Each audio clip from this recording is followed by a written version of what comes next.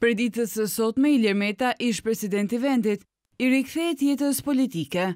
Sot në orën nëntëmbëdhjetë, do të zhvillohet Konventa Kombëtare e Lëvizjes Socialiste për Integrim. Zyrtarë të kësaj partie kanë thënë se kjo konventë do të shërbejë si pikënisje për ridimensionimin e Lëvizjes Socialiste për Integrim por dhe për të sjellë ndryshimin që i duhet opozitës në vend. Pritet me interes fjalimi i Ilir Metës, ku do të shpalosë dhe aksionin e tij politik.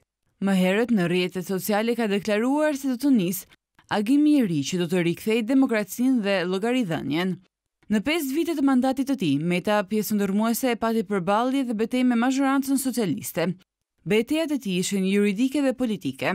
Meta është presidenti që i ka kthyer parlamentit më shumë ligje, shtatëdhjetë e një të tilla nga të cilat vetëm një është marrë parasysh nga Kuvendi. Gjashtëdhjetë e gjashtë dekrete janë rrëzuar, gjashtë ligje janë pranuar pjesërisht ndërsa një ligj ende nuk është shqyrtuar. Përveç kësaj, Meta do të mbahet mend dhe për aktet e tij që asnjë president shqiptar Nuk e kishte bërë më parë. Meta nuk dekoroi një ministër, zhdekoroi datën e zgjedhjeve dhe thirri një protestë kundër qeverisë. Ilir Meta gjithashtu është i vetmi president që u shkarkua nga parlamenti dhe që lirimin e tij nga detyra ushtarake të pasardhësit të tij e bëri me një dekret të firmosur jashtë Shqipërisë.